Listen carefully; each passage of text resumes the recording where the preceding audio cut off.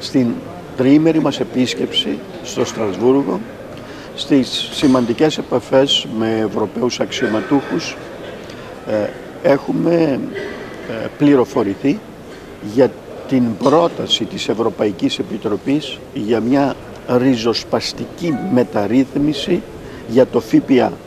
Θα ξεκινήσει ένας διάλογος μεταξύ Ευρωπαϊκής Επιτροπής Ευρωπαϊκού Κοινοβουλίου.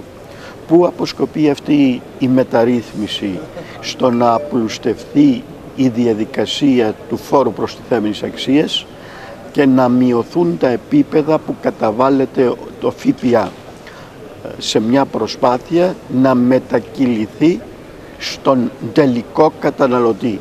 Αυτό θα δώσει την ευκαιρία για λιγότερη γραφειοκρατία, ε, επιπρόσθετα θα μειωθεί στο ελάχιστο ο κίνδυνος όπου επιχειρήσεις ή άτομα αποκρύβουν ε, εισπράξεις από το ΦΠΑ.